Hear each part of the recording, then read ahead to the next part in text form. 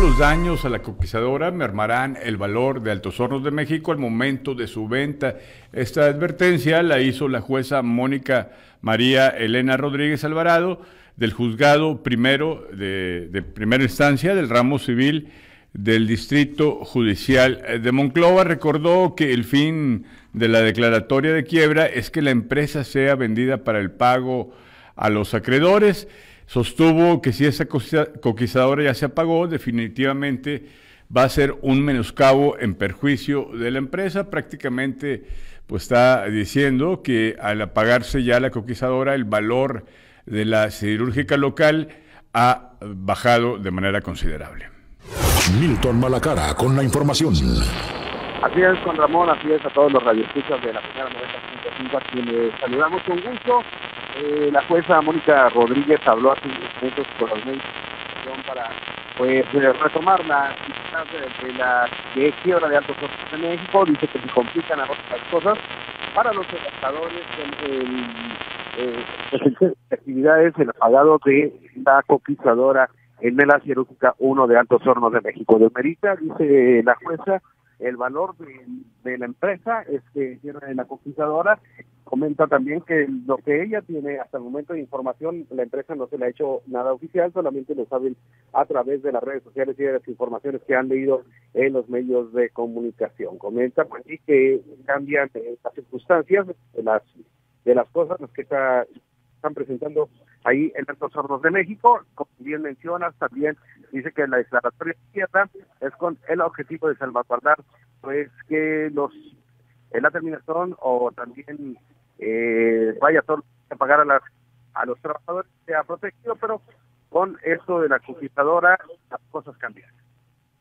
Oye, Milton, ¿y los obreros que mantienen el plantón ahí en los accesos de AMSA siguen sin pronunciarse al respecto de, del daño que están causando a la empresa o ya le causaron? Y también no hemos visto que se pronuncie el dirigente del Sindicato Democrático, Ismael La Hija. Eh, hasta ahorita los obreros mantienen su plantón en los puntos, pero son obreros afines al sindicato de Napoleón Gómez Urrutia. Eh, desde un principio la, empresa los, los identificó, están eh, los obreros algo acelerados, algo activos el día de hoy, que nos terminaron para por correr a los representantes de los medios de comunicación. Eh, no han emitido ninguna declaratoria, ellos están esperanzados a que el director de la empresa Luis Samudio Michelsen vaya a negociar eh, el día el día de hoy, lo esperaban para hoy negociar el pago de, las semanas que les quedan, pero pues hasta el momento no han iniciado una declaración como, como tal, el que fue Gerardo Flores Escobedo, quien es el vocero del sindicato democrático, comenta que pues sí, lamentablemente con el, el cese de, o mejor dicho, con el enfriamiento de la conquistadora, pues también cambia hasta la situación para el proceso de compra-venta de Altos Hornos de México, ya que eh, comenta el, señor Flores Escobedo que pues si en un principio se hacía el evalúo de por si la empresa iba en decadencia cada día con este apagado de la conquistadora, pues prácticamente se evaluó más y habrá que esperar qué es lo que decide la empresa, el nuevo inversionista, si comienza la construcción de una nueva conquistadora o si nada más opinan, entonces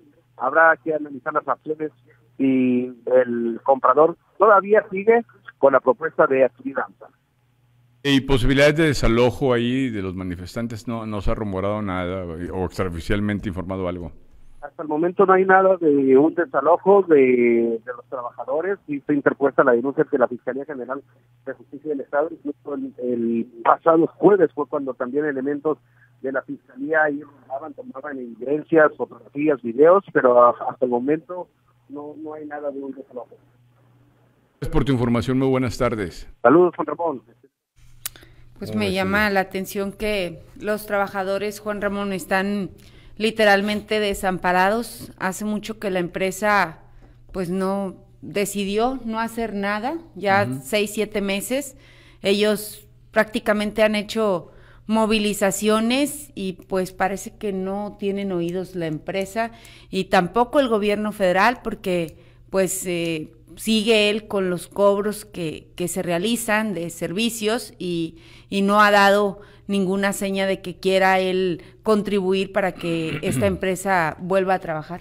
Sí, Silvia, bueno, pues ese tema ya lo hemos tocado mucho. A mí lo que me llamó la atención es que pues Altos Hornos de México no haya solicitado el apoyo de gobierno del estado, por ejemplo, eh, para que corporaciones policíacas hayan desalojado a los obreros, esto de, pues para evitar lo que ya sucedió, lo de que se enfrió la coquizadora 1.